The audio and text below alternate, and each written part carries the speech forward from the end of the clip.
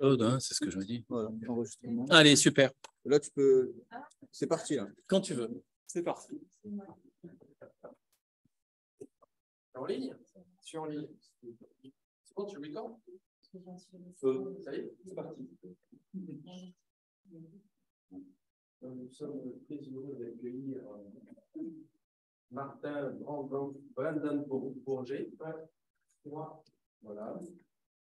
Donc, euh, Martin travaille euh, sur l'étude des phénomènes hors équilibre, d'où euh, maintenant son, son travail qu'il a fait, qui est l'Institut de recherche sur les phénomènes hors équilibre, qui est complètement dans le sujet de cet institut, institut qui se trouve à, sur le, Château Gombert, le campus, c'est un campus universitaire et technologique, c'est Technopole, hein, Château Gombert. Euh, de l'autre côté de Marseille, donc on l'a pas fait venir de très loin. Par contre, Martin est belge et il a effectué son doctorat à Grasse, qui était l'université de Liège, et il a travaillé pour l'école au comportement des charges électriques qui euh, influencent les interfaces entre les liquides. En 2016, tu as fait un premier doctorat au sein du laboratoire BOSS à Boston, aux États-Unis, où tu as étudié euh, les interactions entre des milieux granulaires et des structures élastiques. En 2017, il est allé au laboratoire Soft Matter de l'Université d'Amsterdam aux Pays-Bas où il a euh, conduit des recherches sur les matériaux actifs euh, qui fait émerger les physiques autour des microstructures et des processus hors équilibre. Et en 2020, dernier postdoctorat, euh, retour en Belgique. Alors cette fois-ci, c'est euh, PIPS, je ne sais pas ce que c'est, c'est la CRIPS. Ah, je ne pas la six mois, voilà, il a continué ses travaux sur les solides actifs. Donc, c'est ce qu'on va voir là.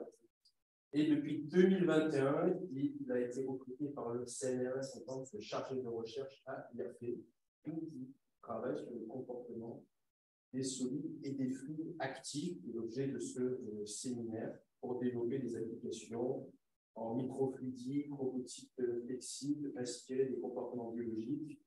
Et euh, Martin avec beaucoup de travail, et lauréat euh, du projet ERC Starting Ground euh, Self-Flow.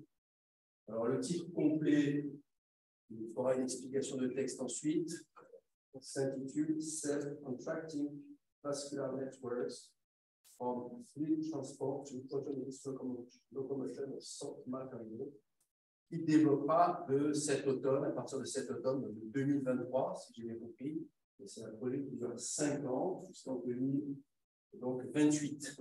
C'est mon dernier slide, parce que vous voulez comprendre le projet. Voilà, donc la C'est le sujet qui va vous présenter qui vous intéresse. C'est à vous à euh, postuler auprès de Martin pour travailler sur ce sujet qui va nous présenter.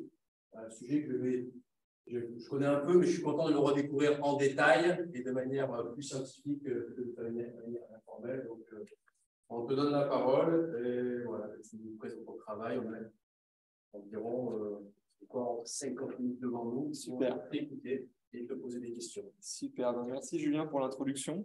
Euh, donc, comme Julien l'a très bien résumé, moi je suis plutôt un mécanicien des fluides et des solides. Euh, mais en jouant avec des, principalement avec des solides, on voit la mécanique des solides. On s'est rendu compte que peut-être que ces solides avec lesquels on jouait pouvaient faire de bons robots. En tout cas, c'est ce que je viens vous demander aujourd'hui. Je pas à, me confirmer dans mon idée ou, m'affirmer. Et par contre, euh, c'est beaucoup plus facile pour moi d'écrire ce sujet en anglais parce que sinon je vais parler en anglais. Vais poursuivre la suite du talk en anglais. Um, so, welcome everyone. So, this talk is about the mechanics of active solid. Uh, and so, there are two important terms here, mechanics, of course, and active. Uh, and maybe a last important one that I have in mind right here is robotic matter. So the idea is to use mechanics to study solids that are actives and try to understand if this can be described as a robot uh, that uh, has the properties also of a material of matter. Uh, and I think it's quite important. Uh, well, first of all, as Julian said, I'm coming from uh, the uh, lab, IRPHE Institute, so uh, where we see study automotive phenomena, but the main focus of the lab is on fluid mechanics. And so we study pretty much anything about fluid mechanics, from industrial uh, flows and processes to geophysical flows and uh, biological flows. And for my part, I'm more focused on, on the first one and the last one, of course, uh, thematic. Um, today, I'm not going to talk that much about uh, fluid flows, but I'm going to mainly talk about um, solid mechanics, even if there is like um, a large uh, connection between the two. And uh, uh, an important thing that I have to say before I forget is that, of course, the, work that I'm going to present to you it's not the work that I've done only by myself. I work with several students, but also with people from other universities, and in particular, Corentin Coulais from the University of Amsterdam and Vincenzo Vitelli from the University of Chicago. Uh, and so, uh, a very first important definition to give is this notion of active matter. So I don't know if you've heard about uh, that word uh, a lot. So basically, the, the idea is to describe matter constituted of particles that consume energy to exert mechanical forces or to locomote. And here uh, I'm giving you three typical examples of what people have in mind when we talk about active matter. They could talk about cells that locomote by themselves and interact with each other uh, to generate large-scale uh, locomotion or flows.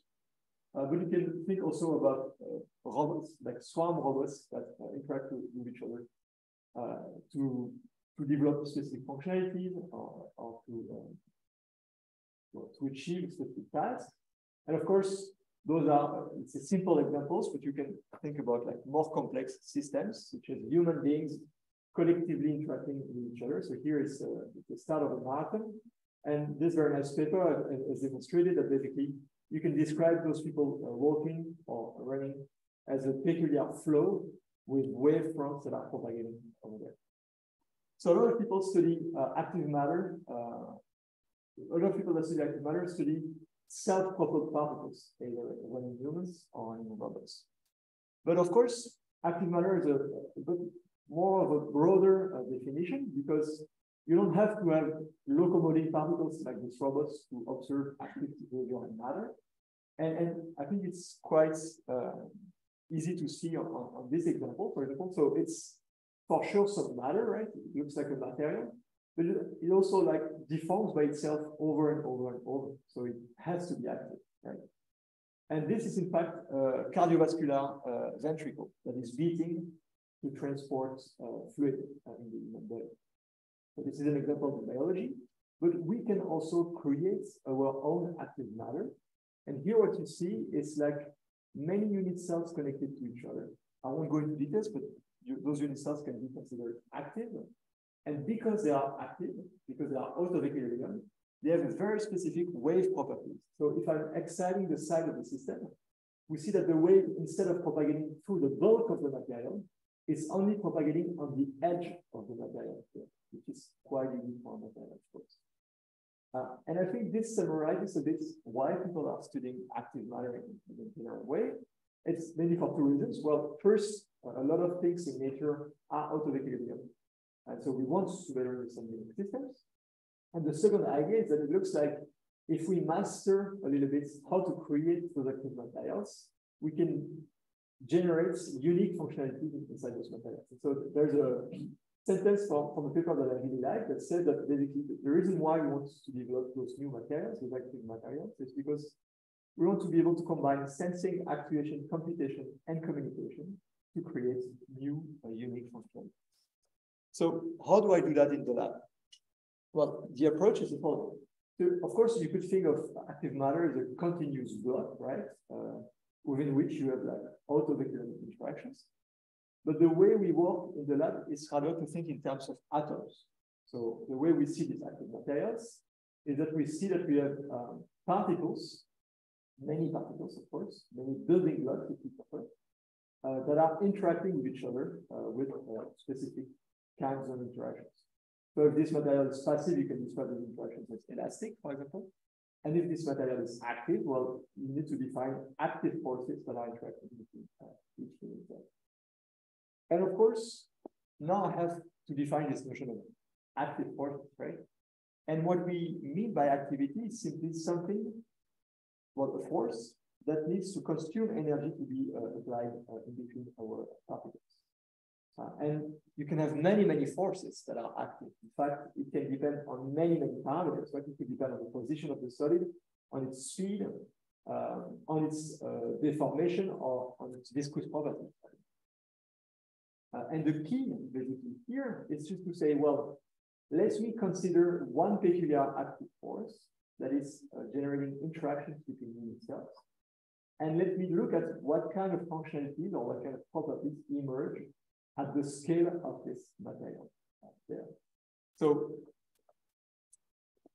I know it's a lot about mechanics so far, but that's really the, the, way we work. And the goal of this talk now is to convince you that this approach might be useful to uh, look into uh, the behavior of robots. Uh, but first, before getting to robots, uh, we need to get uh, to we need to understand the, the mechanics that we're talking about here.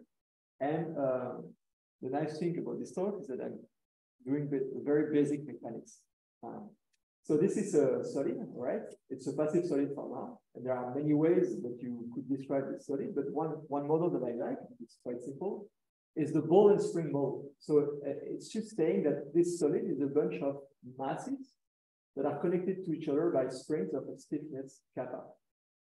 And so you can describe uh, how this material is going to deform when you apply the force on it just by computing uh, the local interactions here with each of those springs. So this is a model that works quite well for, for at least basic materials.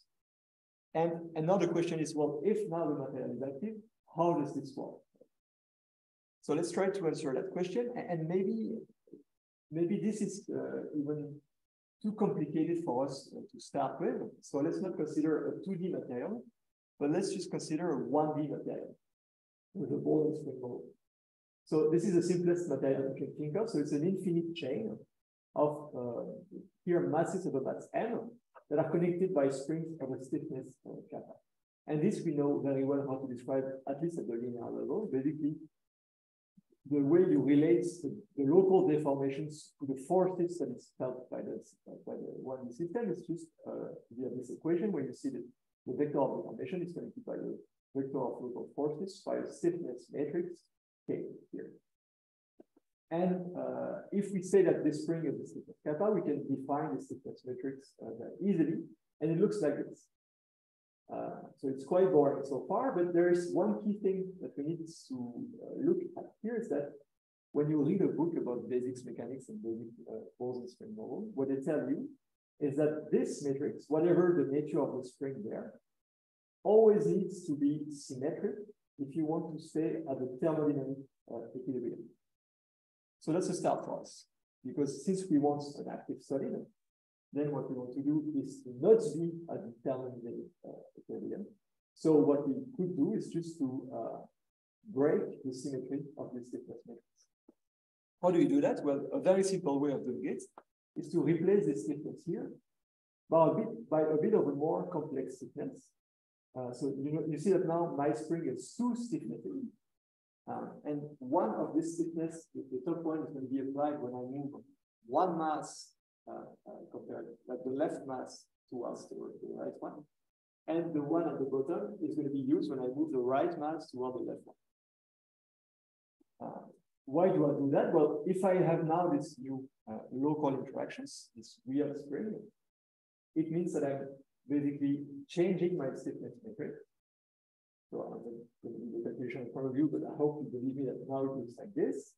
And thanks to this parameter epsilon, you see that I, am breaking the symmetry of this stiffness matrix, so my system should be active. Another question is, what does it give to me? Like, okay, I have an active force in, in my very simple solid, but how does it behave uh, from the active force? And so, as a someone that studies uh, solid mechanics, what you do when you want to understand a solid is just that you click on it and you look at how it reacts. So uh, that you can do in theory, you don't need to uh, enjoy yourself. Uh, for example, what you can, do, you can do is to compute the wave equation of this system.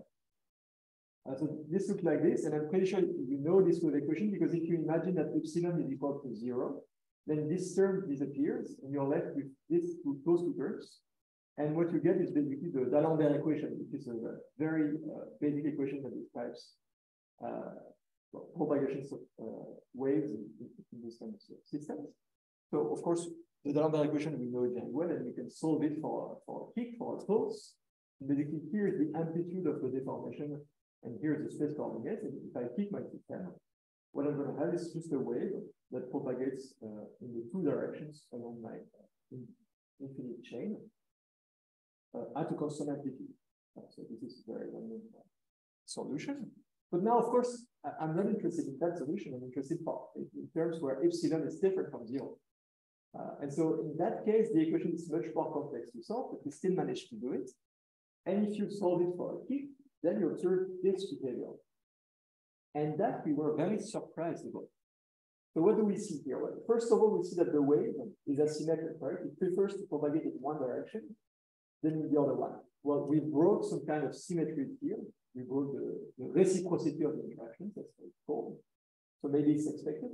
But then the other thing that we see is that this wave here, as it propagates, it's self-amplified over and over and over and over. For us, it was like, well, like quite unexpected, right? To have a solid in which, in which once you excite it, you have a wave that explodes basically in one direction.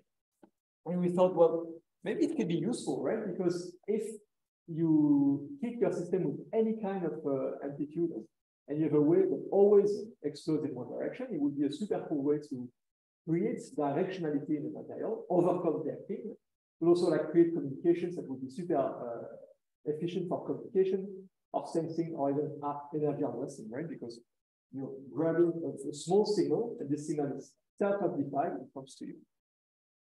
But there is one problem. Uh, this is a theory, right? So I'm sure you don't believe me so far. Uh, and we were not really believing it ourselves either, but we thought, well, let's give it a shot. So we built an experiment uh, to check how it would be. And this experiment is very simple. It's like a first year physics uh, experiment. What you see there is our uh, oscillators. So you see that they can oscillate, and they are coupled with elastic beam. Uh, so saying a very basic uh, first year problem. Uh, for example, if you look at two of those oscillators, they're connected by an elastic beam, and you can describe how uh, you can feel the torque applied on one oscillator as a function of the deformation of the two. It looks like this, where C is the stiffness of the uh, beam. And of course, uh, if you look at the opposite, the torque felt on the other uh, uh, oscillator as a function of the two, you have the exact same expression with the same, same stiffness. Well, this is in fact the 1D chain with uh, linear springs with a stiffness uh, that is here at catalyst. And now I want to introduce the asymmetry, the non-reciprocity that I was showing you before. For that, we cheat a little bit. We don't we don't keep just a mechanical system, but we add some electronics in the system. The electronics you can see here. And what the what electronics seems complex, but in fact it, does something very, very simple. Here you have a angular encoder. Here you have a micro uh, And what you do is the following. So for each unit cell, every unit cell is the same and has the same electron. And basically, each unit cell is going, going to receive information about the position of its uh, right neighbor and its own angular position. It's going to compute this signal and send that information to a motor that is hidden there. And this motor is going to apply a torque that, that is proportional to this information. So what does it do to our equation? Well, it's just adding a term on one of the two oscillators, adding this term, and this term is still linearly proportional to the deformation, but now you're adding a second stiffness to the problem. And now it looks like I, have realized what I was showing you in theory before, right? I can even uh, do some, some, measurements. So of course, here you see what is nice is that we have the parameter alpha that we can program in the microcontroller, right? So for alpha is equal to, oops,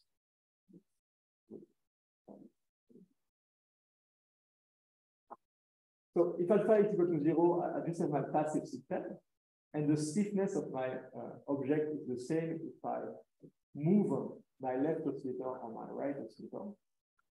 But if I put alpha different from zero, then the motor is applying this new torque, and I'm indeed measuring two different stiffnesses if I excite the system from the left or from the right. Okay, so we've managed to build this weird uh, 1D object with this uh, non-reciprocal interaction. Does it work? Well, if it didn't, then I wouldn't be here, I think. Um, so, but let me prove that it works. So what we do is that we have a chain. We can excite it from the left uh, or from the right. So if we excite it from the left, see that there is indeed a wave that is propagating through the wall material, and here it's uh, oscillating at quite a large amplitude.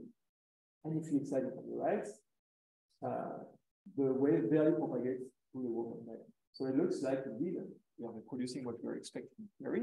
And of course, you can quantify it and it works quite well. So here's the here's the maximum amplitude of the deformation along the, the chain of 10 And you see that for the right excitation, we excite the system, but then the amplitude of the wave very quickly dies out. And for the left excitation, we excite the system and then it propagates, but it also increases uh, uh, the wave propagates, but also it's increasing in amplitude as it propagates. All right. So what it means basically is that we manage to locally break the reciprocity of the interaction and to observe unique wave behavior in our um, and, and this is something that was required for me to explain to you.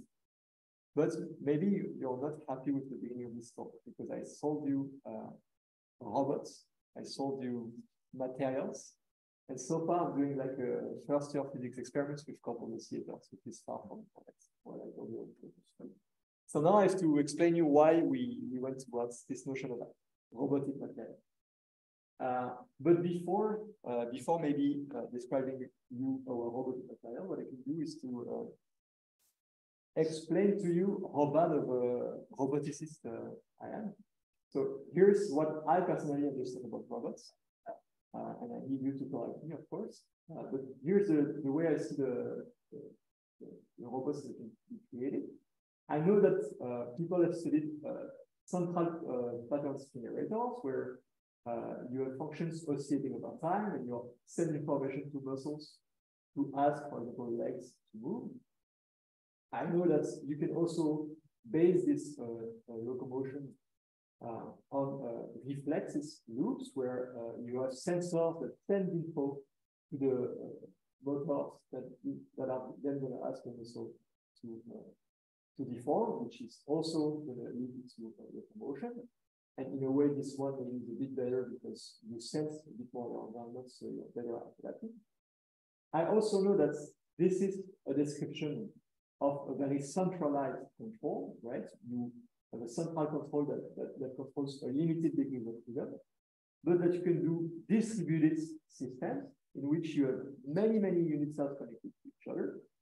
And that for central pattern generators, it works quite well. So here, it's just a wall that is locomoting on the ground, right? And basically, what you observe is just that there is a wave of, of deformation that is propagating along the wall, uh, a wave of, of contractions, and thanks to some friction on the ground, this wave of, of contractions is propagating. So basically, it's just a central pattern generator. But now, since we have unit cells connected to each other, it's quite interesting because if you cut the wall in two, you did not um, cut the brain from the leg, and it enables, it enables to have two walls that keep locomoting. What I'm not sure already exists is something based on reflective that is distributed and enables this kind of locomotion that is nice because you, you don't require a central brain to function. And what I think is that the very basic oscillators that I showed you before could be used to fill uh, this uh, part of the, of the. So um, let's go back to this uh, material I was about. Uh, but now let's try to create this real 2D material uh, to create something that can actually deploy.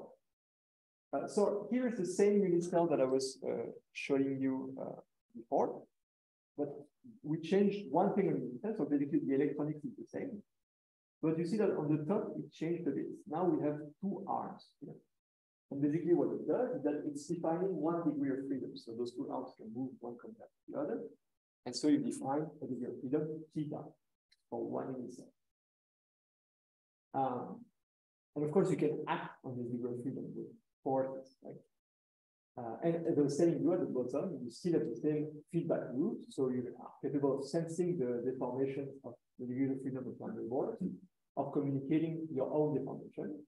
And you're computing those information to generate actuation, so you can define an active force. Yeah.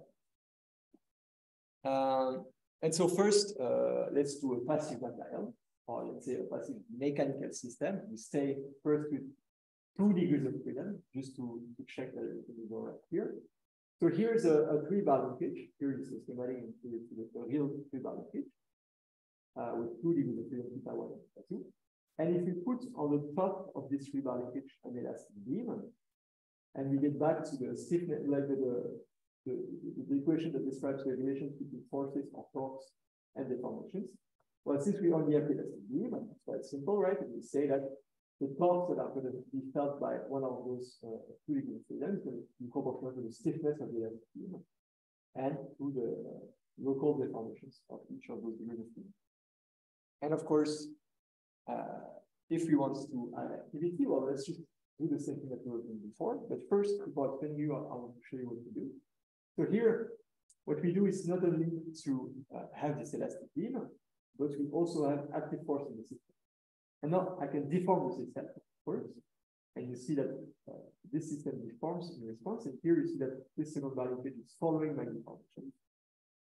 And here you see that if I, the exact same in itself, but now if I actuate, if I deform it on the other side, uh, the deformation is completely different. So how do, how do we do that? Well, we do exactly the same as I explained before. In this equation, we add a term, kappa A, that is going to break the uh, symmetry of this measure. And this term kappa A comes from the electronic feedback. Uh, and so from the point of view of someone in mechanics, it's already super interesting. And I'm sure uh, you don't believe that this is a robot, right? So uh, what am I talking about? Well, first, um, I'd like to keep with this system and just look at what it can do. Uh, and the reason why I started with a three bar linkage and only two degrees of freedom is because it's quite simple to solve uh, analytically. You just basically have to solve these equations. So what you say is that you have some acceleration for each degree of freedom that is going to be proportional to the three forces involved in the system, the uh, passive elastic beam, the active force, and some damping that is always present in experiments. One thing that I have to add is that now we're doing experiments, right? So we are not in a perfect world anymore.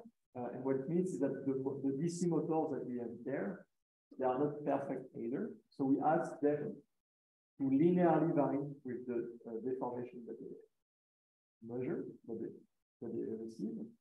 But they, they can only apply a maximum a maximal torque. So in reality, what we're going to have is that we're going to have indeed this active force and it's going to linearly increase the deformation up to one point where it's going to go towards max.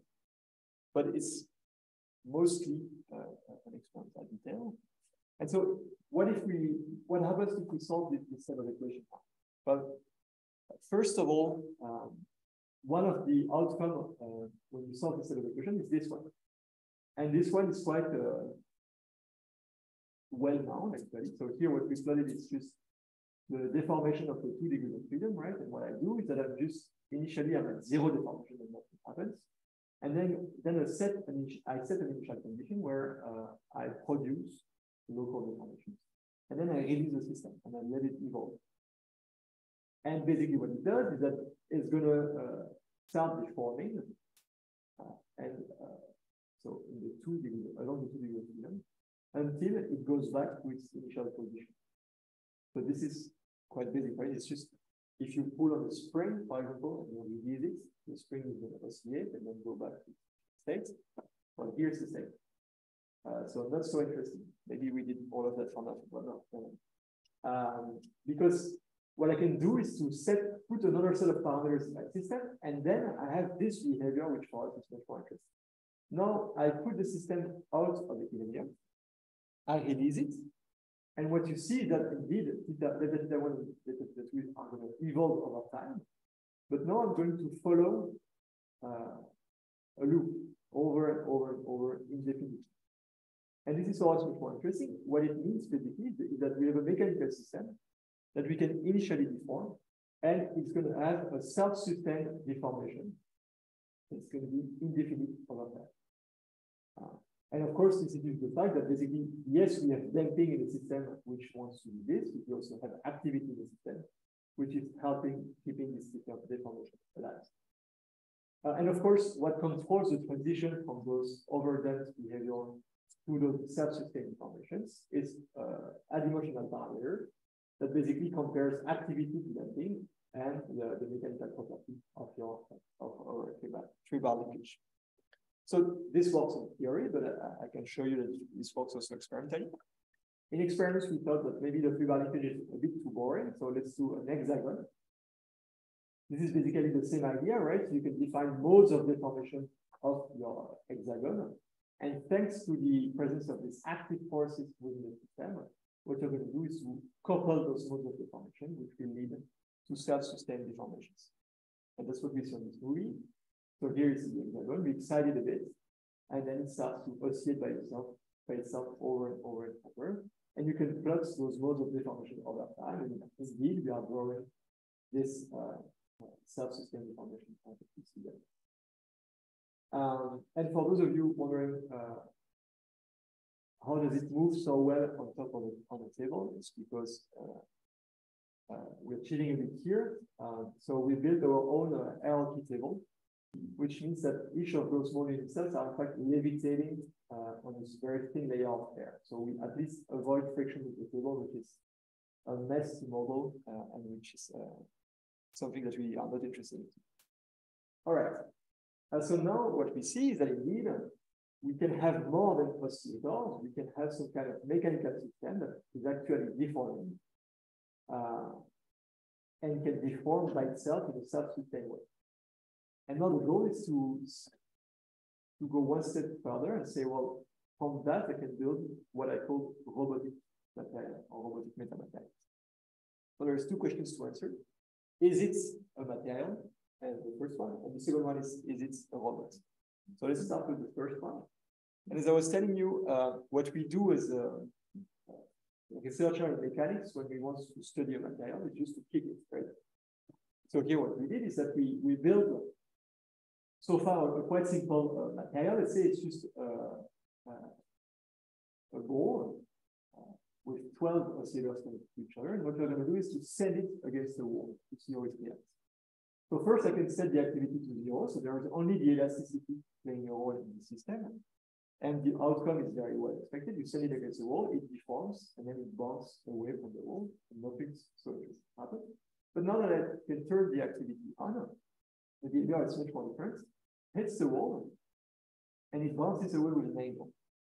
Uh, and this is quite controllable, right? If I apply the exact same activity but the other side, so here, I really have only one control parameter, right, which is this kappa term in my system. So here, I just change the sign of kappa and I observe the same kind of behavior, but on the other side.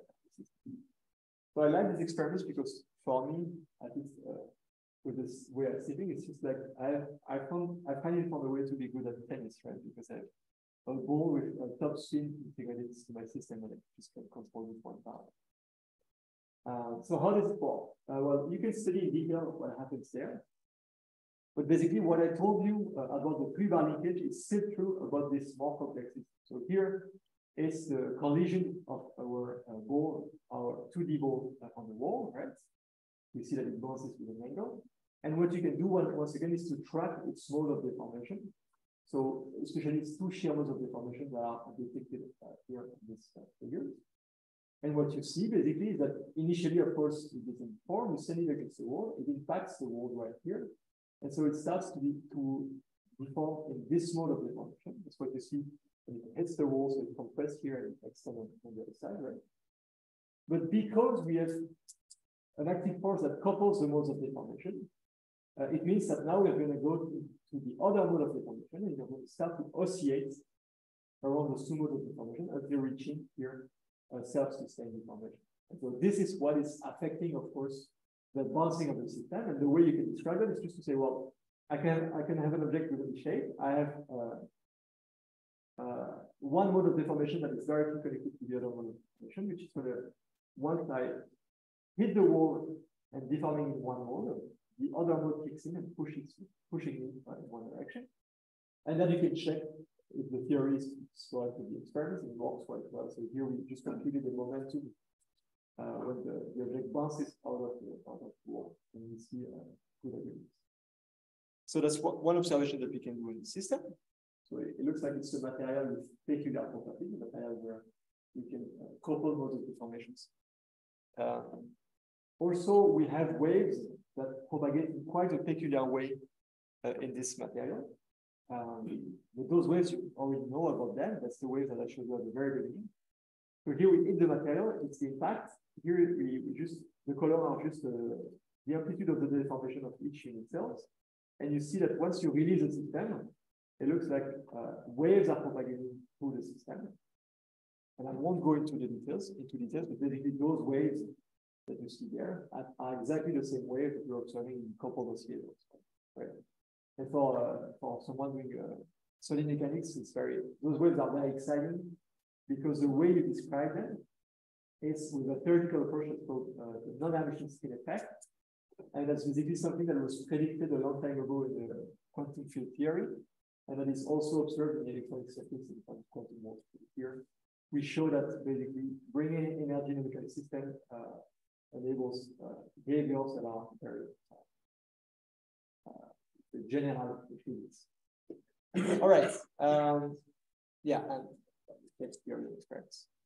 But of course, yeah, uh, I'm sure you're not quite happy because it is only 12 unit cells, so is it really a solid? That's the big question. So we worked a bit more uh, and we built more unit cells in the lab. So now you see 120 unit cells. Uh, but uh, the conclusion is, is the same. So you can also do impact experiments. So here it's for the zero activity in the system, and you send a heavy object against your now active wall.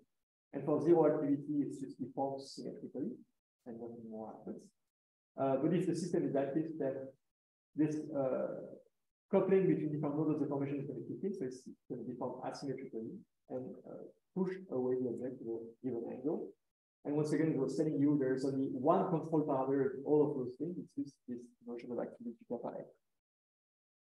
Um, so that we can uh, quantify, and as I was explaining to you, uh, you describe the two shear modes deformation of your now 2D solid object, and you see that indeed it's small coupling uh, that is affecting the way it deforms. And what we are quite happy about is that basically now, if you do not consider uh, a discrete system made of many unit cells.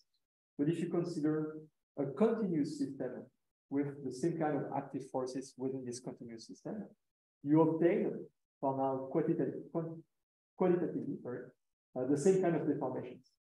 And so what it's allowing us to say is to say, well, if you put many unit cells to, together, it's really something that behaves like a material, but a very specific material, an active material. Okay, uh, and of course, we see the same way for value. And we, we can explain them. Um, and this is, those are the waves. Uh, so here I'm the system and the waves for this, direction. And there I'm gently hitting the system and the wave go in the other direction. So this is a material with very peculiar properties. But I'm sure you're, not so robots may be interested by the material, you're interested by the robot. So what, why would it be a robot? Well, the idea is that if it keeps deforming, maybe it can locomote. And here we're back at the hexagon. Uh, there is one difference compared to the experiments that you saw before, is that the gravity is not now pointing down, right? So if I release the system, it started oscillating, but now it's hitting a wall there. And basically here, because there is a wave that is propagating unidirectionally, well, this system is able to locomote. Uh, and of course, it's quite peculiar, right? Because it's not it's not something that I initially programmed. This locomotion it's just emerging from the fact that uh, active forces lead to unidirectional wave that themselves leads to locomotion. And of course, the big question. Well, I can show you another example that is maybe a bit uh, yeah, interesting. So here it's more unit cells. We are locomoting. We're also adding a, a bump there. And uh, you see that without any problem, we're going over the bump and keep locomoting. And since I told you that I was quite a bad person, uh, I, I was quite bad with robotics, now in your head you're thinking, well, this guy just reinvented the wheel in a very complex way, like this. But uh, I, I, I think I can convince you that it's not the case. So why is this interesting? Well, basically, I could have done two things to create this movie. First, I'm going to explain you the, the blue one that is the one that you know, I'm sure. I could have said to each degree of freedom there, to each unit cell, please uh, deform uh, over time uh, in a, a, periodical way. So I say each degree of freedom deform over time in a periodical way, and between each degree of freedom, I can set a phase difference between each degree of freedom, and this would have given something similar, right? Basically, you would you would have a wave that propagates through the surface there, and you would have had locomotion. But instead, what I did is to say, well, no, no, I, I don't want something set in amplitude, set in frequency, and set in phase. I want to relate deformations to active forces, which is something completely different. Well, the first thing is that, of course, we have only one, like one uh, control parameter, which is Rafael. But the other thing is that I'm relating deformations to forces. So I should have like things like acceleration in the system. And this is key to the behavior of the system. So what you can do is to do several experiments like this one, but with the two tests there. And what you see is the following, is that uh, the locomotion of the red one, which is this one, is beating the locomotion of the blue one. You could tell me, well, maybe you choose the slope such as the other one which works better. Uh, we cheated a bit, but now we tested that. So you can vary the slope, that's what we did here. And for any slope, the red one is always better than the, than the blue one. But of course, we don't have a huge motor, so there's a slope at which the motors are not following and we're not moving anymore because this is not, of course, a practical robot, but it's, it's a good test experiment.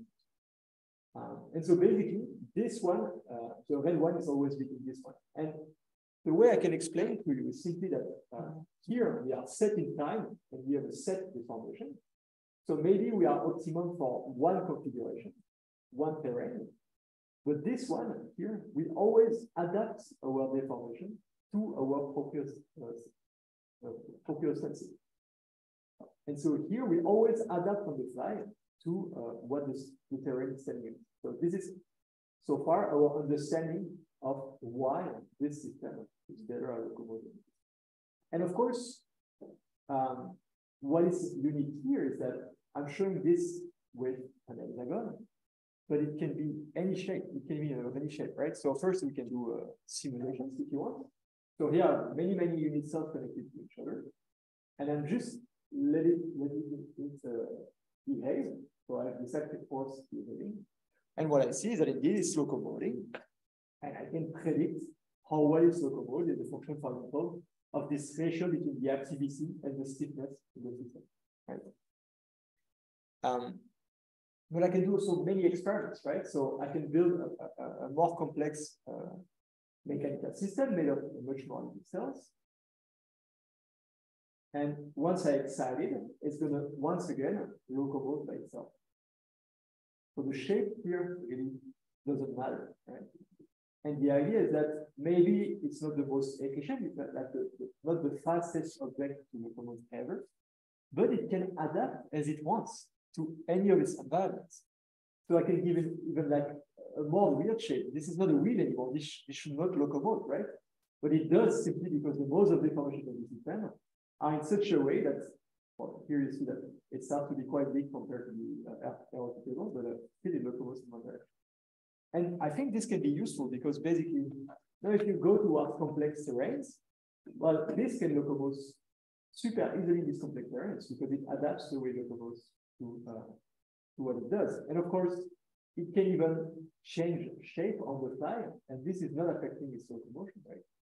It can, well, I mean, it's not affecting its uh, ability to go uh, in one direction. It's, can, it can still do the job. Or you could say, well, uh, this is one configuration, but then we want you to, to go inside uh, a tinier uh, here area and it can still advance, not so fast, I agree, but it can still advance.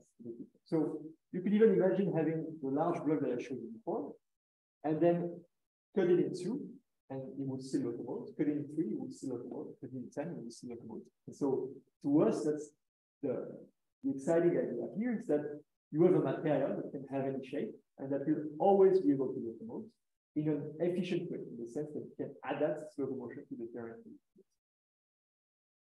Um, all right, so that's the main experiments that I wanted to talk about uh, today.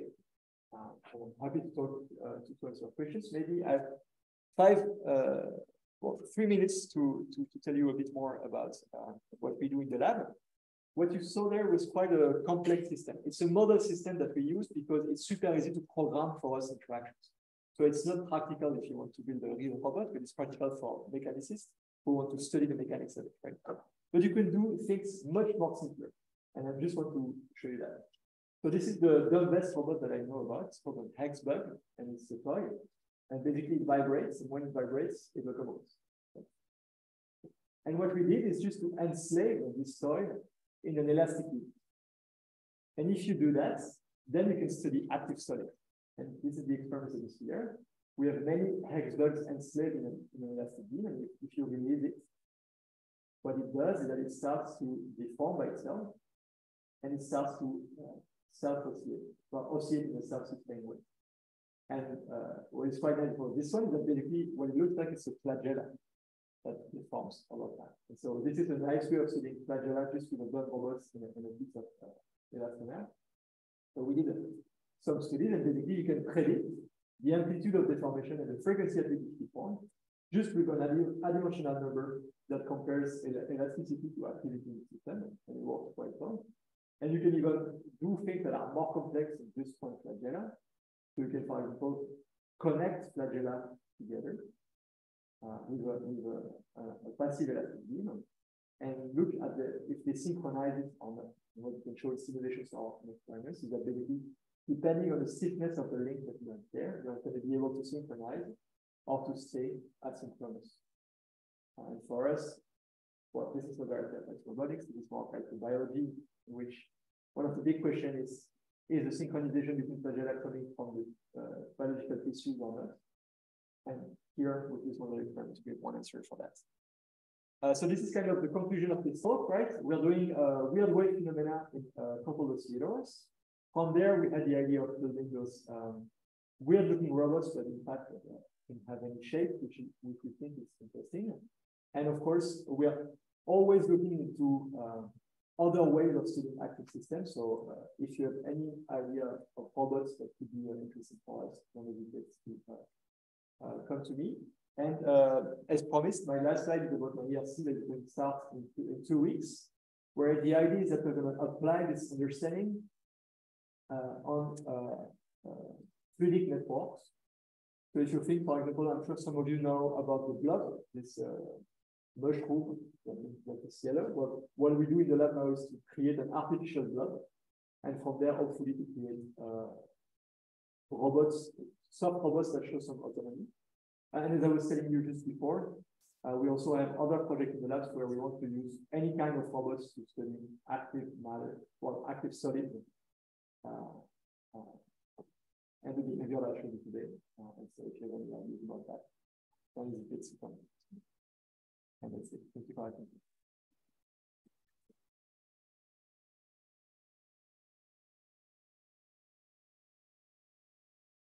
Merci beaucoup. Merci. Euh, Vous. Avez euh, des questions, euh, euh Martin.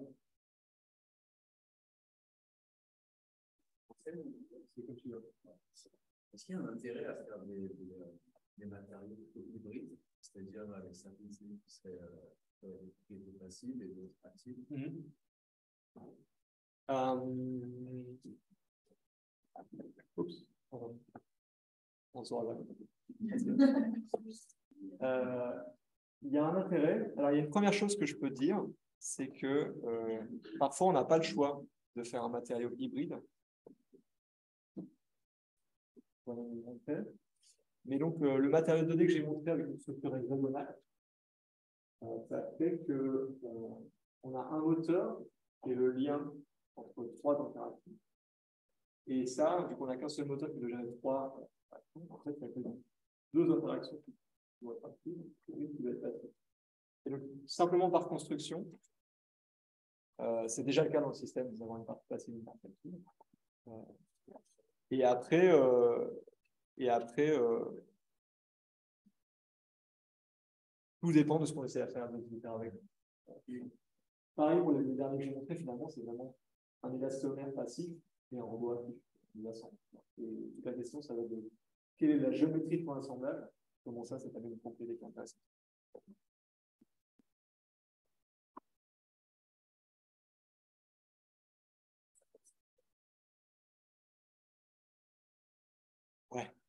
Flagelles, Ouais. même des, des, euh, des mouvements liquides, etc. de- effectivement, hein, des liquides vasculaires ou autres. Ouais. C'est c'est assez hallucinant. Voilà. Mm. Donc, euh, nous, ce qu'on. Alors, euh, il y, a, y, a deux- il y, a, il y a- il y a deux choses importantes à dire. C'est que on a approché ce problème d'un point de vue très mécanicien, qui est de dire on va étudier une force très simple, est euh, cette force active dont je parlais un peu plus tôt, qui est linéaire en fait, euh, et qui prend pas en compte, par exemple, des effets de diffusion. Et avec cette force très simple, on arrive à créer des comportements qui sont assez complexes, assez évolués, assez intéressants. Maintenant, la limitation, c'est que si on veut quantitativement comparer euh, les phénomènes que nous, on a, des phénomènes de biologie, à des phénomènes de biologie, on va toujours être limité parce qu'il y a toujours de la non-linéarité en biologie et il y a toujours des phénomènes de diffusion qui sont importants. Quand on parle de phénomènes de diffusion, c'est par exemple, nous, on a deux cellules unitaires qui communiquent les unes avec les autres à 100 Hz, donc euh, instantanément. En biologie, si on a des phénomènes de, rétroaction qui se passent, généralement, euh, ce feedback il se fait sur un delta de temps donné. Donc ça, c'est des choses qu'on ne prend pas encore en compte dans le système, mais qu'on va commencer à prendre en compte, entre autres via ce ERC, euh, dans le système.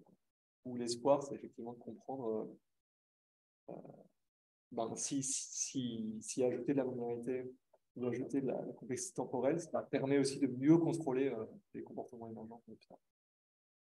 C'est un des challenges. Question également, c'est qu'à chaque fois, il y a quand même une, une impulsion exogène.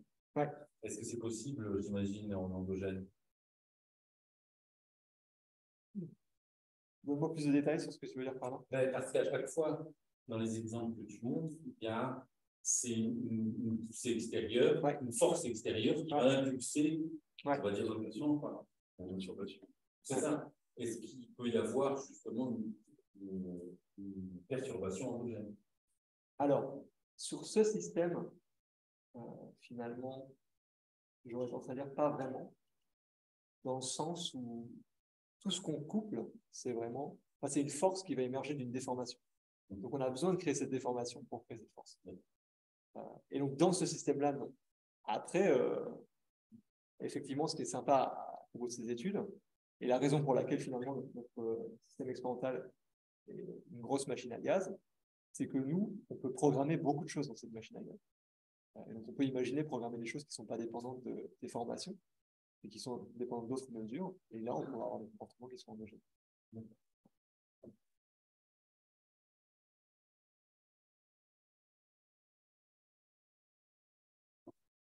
Euh, Martin,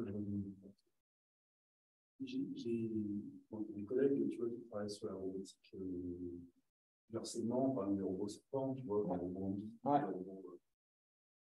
Et puis, ces collègues, ils t'expliquent que c'est compliqué parce que c'est euh, un robot manié, tu vois, c'est un outil de ta liberté Ouais. interne. Ouais. Et que donc, pour expliquer la dynamique de l'ensemble du robot, les modèles sont très compliqués. Alors, tu sais, après, tu as des modèles Lagrangien, non Lagrangien, ELR, point carré. Moi, j'ai des collègues qui non, très là-dessus. Mais quand même, les modèles sont pas compliqués. Et toi, tu as un robot presque à degré de liberté interne qui explose, Exactement. et tu nous expliques, et je ne sais pas comment ces collègues mécaniciens euh, connaissent ces travaux ou pas, tu nous expliques que finalement, bah, ça, c'est pas un problème, on peut le modéliser quand même, et obtenir, et même prédire son comportement. Exactement. Ouais. Et tu as quand même une rupture du coup, parce que tu as la mécanique classique, ou à Lagrangien, tout ça, Ouais. explose. Si tu dois l'appliquer sur un modèle comme ça, Ouais. c'est même pas la peine de l'envisager, tu vois. Ouais. Et toi, tu nous dis non, mais en fait, les gars, c'est des conneries, tout ça. C'est CDG, c'est un espoir. Ouais. Ouais. Et tu vois, à un moment, il y a quand même une rupture. Alors, je ne sais pas si les deux, à un moment, se, se rejoignent ou pas. Ouais. Mais tu vois, quand même. Non, bien sûr. Et la rupture, elle est, elle est aussi dans le fait que nous, ce qu'on s'est autorisé à faire, c'est de programmer une interaction locale qui est ultra simplifiée. C'est une interaction linéaire entre une force et, et une déformation. Mm. Là où, où des recherches en robotique vont dire bah, ça c'est une interaction trop simple pour avoir un comportement qui les intéresse, et donc on, on met souvent des comportements qui sont bien plus complexes. Euh, et donc oui, et c'est- là aussi le, tout le challenge de notre côté, c'est de dire, euh, on est, on a- finalement, on voit ce, ce résultat comme une première étape, de dire, euh, voilà, on est ultra simple, mais on, on a un modèle à l'échelle continue et ça fonctionne, et c'est beau. Euh, et on, on a des comportements, mais peut-être qu'on pourrait complexifier ces comportements ou les rapprocher plus aux comportements qui sont euh, euh, faits par des robots. Et là, tout le jeu, ça va être de dire, ben, peut-être que si je ne les prends pas linéairement, mais si je les prends quadratiquement, la déformation, ou enfin, il y a d'autres questions comme ça, peut-être qu'alors là, j'affine un petit peu mes comportements, mais je garde ma capacité à les, à les décrire avec des équations continues. Euh, et là, oui, c'est encore, c'est encore une étape dessus. Quoi. Et, et on y est un petit peu déjà dans cette étape parce qu'en fait, euh, il y a une grosse différence entre les oscillateurs que je vous ai montrés avant et ce, ce robot, c'est qu'on a découvert qu'effectivement notre moteur, ben, il ne pouvait pas appliquer un torque maximum. Oui, il ne pouvait pas appliquer un torque infini. Il avait un torque maximum. Et l'existence de ce torque maximum, on a été obligé d'ajouter cette non-linéarité, complexifie la, la- la résolution des équations, mais ce qui permet d'avoir des oscillations qui ne sont pas amplifiées à l'infini, mais qui sont euh, qui vont être capées à une amplitude donnée. Quoi. Et donc on voit déjà qu'en fait, euh, rajouter un tout petit peu de complexité, ça permet justement d'affiner euh, le comportement du système. C'est tout le challenge. Tu euh, penses que ça a un intérêt euh, sur la, ce que tu la locomotion, hein, il peut à peu près rouler en déformant. C'est un robot très résilient. Voilà. euh, Exactement. Et, mais est-ce qu'au niveau euh, efficacité énergétique, tu as des, pistes un peu là-dessus? Parce qu'en que tu fais, parce que bon, consomme, tu es tout actif partout. Quoi, mais- Exactement. Euh, c'est c'est une question qui ne se pose d'ailleurs pas que en en informatique, mais c'est la question euh, énergétique. Parce que nous, la, la toute première fois qu'on a résolu cette toute première équation que je vous ai montrée, on a vu une onde qui s'amplifie à, à l'infini. On dit, mais ça, on va faire de l'énergie invisible. Puis on fait la manip et on se rend compte qu'on a 15 branchements électriques avec un gros générateur dans chaque non, c'est pas sûr qu'on soit gagnant en termes d'énergie, c'est donc plutôt l'inverse. Euh, euh, et donc la question se pose. Euh, et moi, je pense que la, réponse, c'est que on peut à coup sûr minimiser, enfin réduire l'énergie qui est dépensée par rapport au système qu'on a actuellement, parce que le système, on l'a choisi euh, le plus généraliste possible, et donc le moins efficace. Par rapport au système occidental que j'ai montré, c'est sûr qu'on peut réduire la consommation d'énergie. Après, aller jusqu'à dire que ce système sera toujours énergétiquement, enfin, sera un jour énergétiquement plus intéressant qu'un système à un actuateur, je pense pas que ce sera cas. Mais je pense que ce qu'on gagne en étant énergétiquement moins intéressant, c'est justement cette notion de résilience. Et ça, on ne le voit pas que dans les robots. Euh, euh, il y a des systèmes vivants qui utilisent ces phénomènes. Par exemple, euh, il y a le globe, je parlais, mais il y a d'autres euh, réseaux de canaux, comme le système lymphatique, qui est un réseau de canaux dans le corps humain, qui fonctionne de la même manière. En fait, tous ces canaux se contractent en permanence via des boucles de rétroaction. Et c'est une grosse question en biologie, ça n'a aucun sens. Le système sanguin, c'est une pompe centrale, ça fonctionne très bien. Et le système lymphatique, c'est euh, je ne sais pas combien de milliers de pompes partout. Donc, énergétiquement, ça n'a aucun sens. Les, les flagelles de l'histoire intelligente, par exemple, les sapins de l'énergie, Voilà, exactement. C'est une durée limitée. Voilà, on, on peut dire énergétiquement ça n'a aucun sens, mais le système lymphatique, en fait, il est ultra résilient. Voilà. Il est tellement résilient que les gens commencent à s'y intéresser que depuis 5 à 10 ans, parce qu'avant, on n'avait pas de problème clinique lié au système lymphatique. C'était intéressant aussi. Maintenant, on commence à avoir. Enfin, on, on découvre pourquoi est-ce que c'est intéressant d'utiliser. Mais, euh, Donc voilà, c'est une question avec l'énergie. Revenons à la question dans le bon sens. Le rendement de la locomotion humaine, moi, 6%, donc au, centre de la science, euh, on est inefficient énergétiquement. Et je rappelle qu'une voiture euh, elle a un rendement énergétique proche de 45%, donc elle a mérite plus d'exister que fait. On sait que moi, euh, en prendre conscience, c'est juste. Euh, moi, ma question, en fait, euh, c'est pas une question euh, oui, si, tu as, si la résilience, c'est un peu, je, je rebondis sur les théories de Louis Dadrist. Ouais. Si tu as un moteur qui lâche, euh, ça continue à marcher ton histoire ou, euh, Ah oui, oui, important. Alors, on a En fait, la résilience, euh, c'est moi, c'est lui qui a nous apprend, euh, on essaye de définir ce qu'est la résilience, parce que c'est un axe de travail dans notre équipe. Euh, si on a un peu d'équipe qui lâche, ben, souffrir dans tête, hein, on va supporter la douleur comme on peut, mais on continue à, à réaliser la, la résolution. Et euh, Loïc, je sais qu'Alex, il travaille sur ce sujet-là pour essayer de. Voilà. Parce que finalement, ce mode d'actionnement, en fait, on voit que ta structure, elle est très intéressante. Quand tu lâches l'objet, tu amortis. Ouais. Donc, moi, ça me fait penser à le système, il peut donc dissiper l'énergie. Ouais, ouais. C'est un peu ce qui se passe quand, quand on saute, tu sais, là, on, on se récupère à, à l'impact, on est capable de, de, récu- de dissiper l'énergie à l'impact. euh, pour que ça continue à fonctionner, donc le, le muscle fonctionne en dissipateur. Ouais, ouais. Et du, du coup, euh, bon, voilà, donc on voit que si on pouvait en mettre, euh, je dirais, densifier, parce qu'on sent bien que l'intérêt, c'est la densification. Hein. Mais voilà, euh, est-ce que est-ce que tu as déjà fait des essais où tu en, Ouais. as un qui lâche un moteur et Exactement. ce que tu fais Il y a deux choses qu'on a fait. D'abord, on a, d'abord, on a coupé les moteurs pour voir ce qui se passe. Et c'est effectivement résilient. euh, alors, j'ai plus les pourcentages en tête. En gros, on peut couper un très de moteur et ça peut faire fonctionner. Pour un, quelqu'un qui fait de la mécanique, c'est très excitant aussi parce qu'en fait, on regarde un matériau. Dans ce matériau, on met des défauts. Euh, et après, on regarde si les propriétés du matériau euh, restent en présence de défauts. Donc ça, c'est plein d'études qui sont sur les matériaux. Donc on combine un peu ces deux approches pour essayer de décrire d'une manière euh, quantitative euh, comment ce système peut être résilient. Parce que c'est, pour moi, c'est un peu la difficulté initiale, c'est que je peux couper deux moteurs sur 120 et dire que c'est résilient. Je peux aussi en couper 5 et dire que c'est résilient. Mais c'est difficile de quantifier pour moi la résilience juste en disant que j'ai coupé un moteur. Et donc on essaie de la quantifier vraiment en ayant une approche plus de mécanique, en disant bah, euh, en fait, euh, euh, toutes ces topologies de défauts dans le matériau ne vont pas affecter euh, l'émergence de propriétés euh, telles que la déformation. Donc voilà, c'est ce qu'on est en train de faire. euh, et ça- pour le moment, ça fonctionne. Tu n'as pas fait de vidéo, Et euh, j'ai Ouais. pas la vidéo sur le slide, euh, mais euh, je peux la. si, euh, non, on a- on a pas- Oui, non, mais ça. Ah, peut-être. J'avais mis à 14 ans. Mais. Oui, oui. Mais, mais donc, euh, ouais, c'est des, c'est des, c'est des, des trucs qui sont tout nouveaux pour nous, euh, mais on, ça marche. Peux montrer des vidéos. euh, j'ai un, on, on est en train de refaire des figures pour le papier là. et, euh, on fait des trucs pour quantifier la, la Bon, pas encore. Pas encore. Là, on en est à des moteurs, ça marche. Euh, et l'étape suivante pour nous, c'est vraiment de, de réfléchir à c'est quoi la nature des défauts si on coupe un moteur de ce matériau, euh, comment on les décrit, et comment est-ce qu'on démontre que pour euh, certaines densités de défauts, on a dans le système. Donc, pour avoir des études systématiques sur le système. Parce que finalement, on ne fait pas du tout que des de locomotion. quoi. C'est- ce matériau, j'ai montré des impacts, mais en fait, on peut aussi l'étudier de manière quasi statique, c'est-à-dire le déformer très lentement. Déjà là, il a des propriétés qui sont euh, uniques, puisque dès qu'on a un couplage entre modes de déformation, on a un rectangle qui est homogène, et quand on l'écrase, on va avoir du shear système, simplement à cause de force active.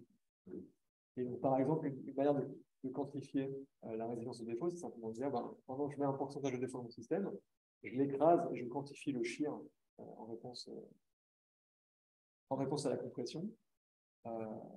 Euh, et euh, ce shear va probablement évoluer en fait en fonction du du défaut, quoi. Euh, pour montrer que ce est, ré- enfin, est présent pour une- jusqu'à.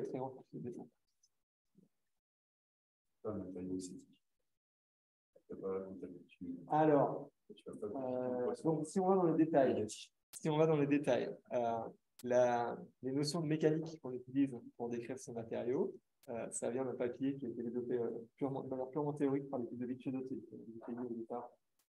Et ce papier s'appelle Odd Elasticity. Donc, c'est un papier qui démontre que euh, a de nouveaux modules d'élasticité une fois qu'on conserve l'énergie. Et ce qui montre, c'est qu'effectivement, on a du shear coupling, on écrase cette shear, mais on a aussi euh, de- des, des dans le système. Donc, on, on peut avoir de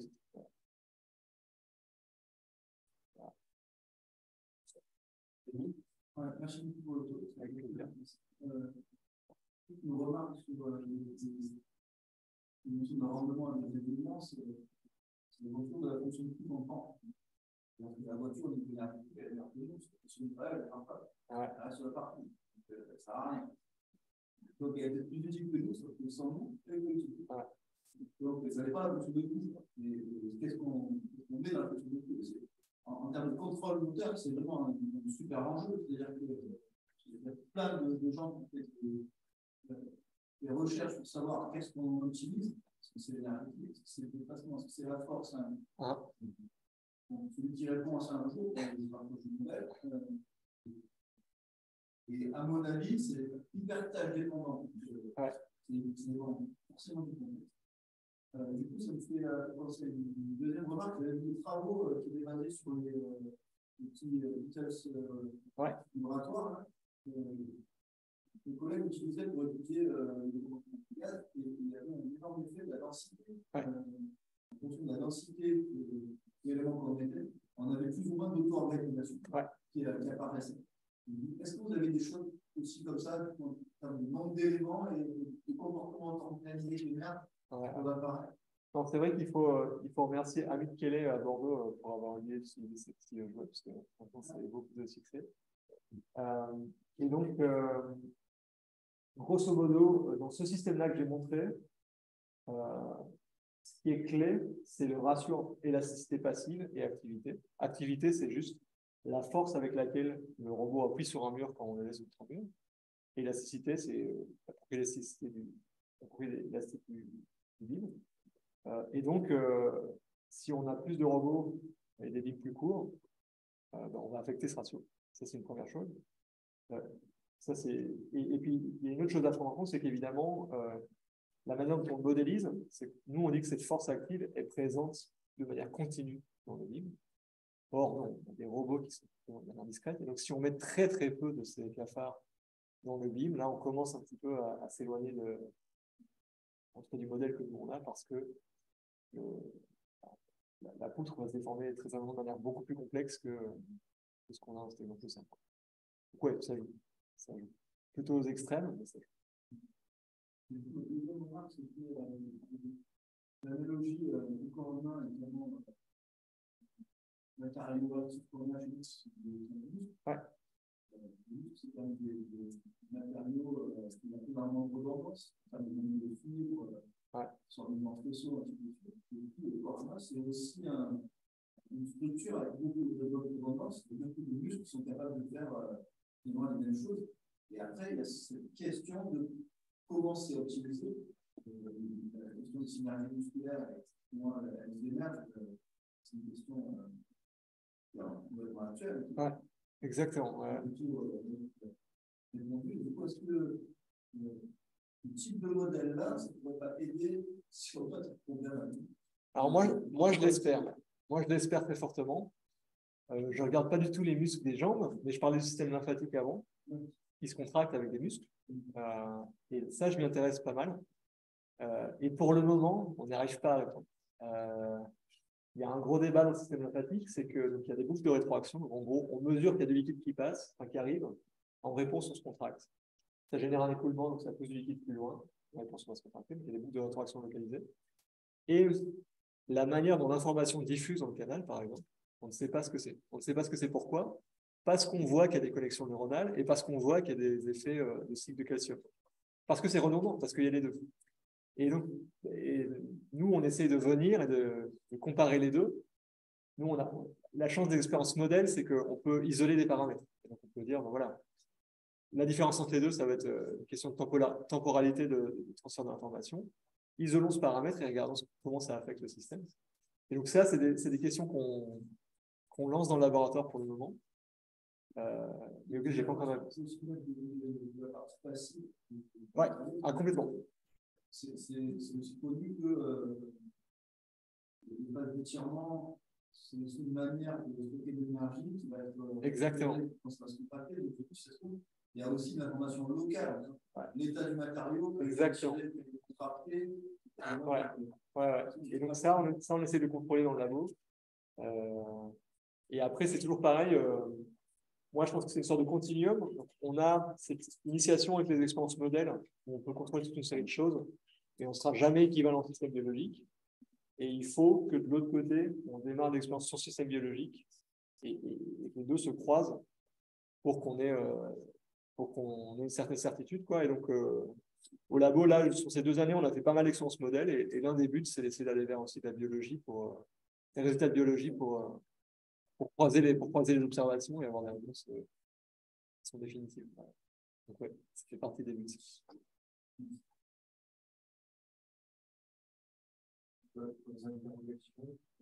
Oui. Euh, là, alors c'est bien sur votre projet, vous avez parti sur la contraction des vaisseaux de vaisseaux ouais. Alors en biologie, si vous me souvenez compte, il y a la loi de Starling qui fait une loi linéaire, je pense que vous connaissez, le plus entier sur un muscle. C'est pas si linéaire, vous pourrez nous présenter ça pour essayer de modéliser Alors, euh... j'ai très envie de répondre oui, j'espère. Euh, c'est plus il y a une contrainte interne pour répondre tout ce que et la déformation, la contraction qui en résulte. Ouais, exactement. Et donc, euh, euh, la, la, donc la réponse simple, c'est l'espoir qu'on a. Euh, on sait qu'on va faire face, euh, donc expérimentalement parlant, le setup est beaucoup, bien plus complexe que, que celle que j'ai montré. Donc on sait qu'on va, on va faire face à des, à des non-linéarités qu'on voudra éviter. Euh, et toute la question, c'est est-ce qu'on va pouvoir trouver le, la bonne configuration en termes de paramètres pour, pour arriver à, cette configuration-là, mais c'est l'espoir.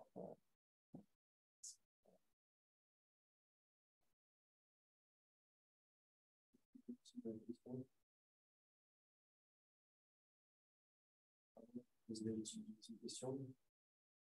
Est-ce qu'on dépose des brevets sur ces seules choses-là euh, Qu'est-ce que tu en fais en fait euh? Ouais. Moi, ce que je pense. Euh, donc, on était très chaud. Euh, la première année, on a fait les oscillateurs. Pour nous, c'était la folie. On a appris les gens des brevets. C'est pas très normal. maintenant, on fait des choses plus concrètes. mais je pense que c'est encore un tout petit peu trop tôt. pour moi, si brevet IA, c'est quand on aura démontré que ça marche sans Arduino euh, et sans DC moteur.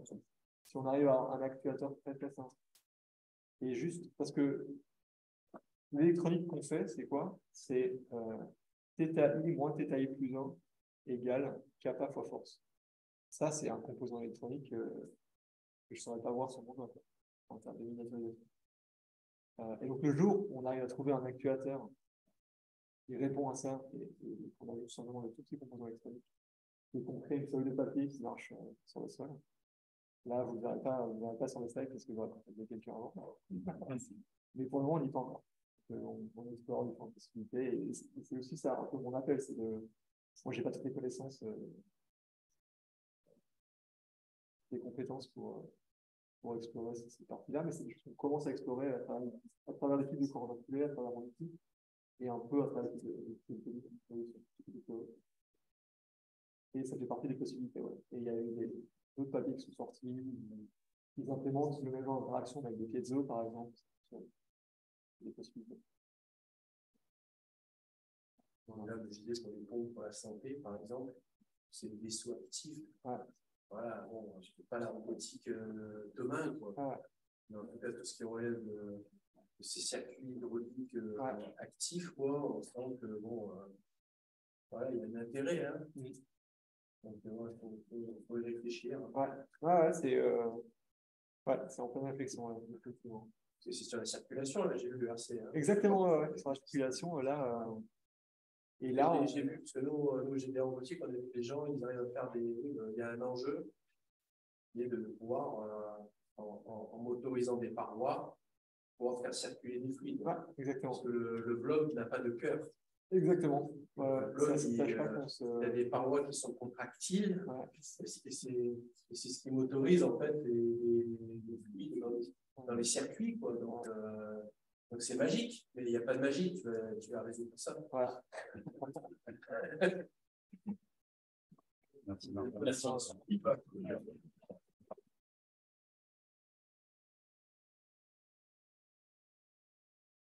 Merci beaucoup, euh, avec plaisir. Ouais, c'est bon, tu leur as donné des idées. C'est toi le.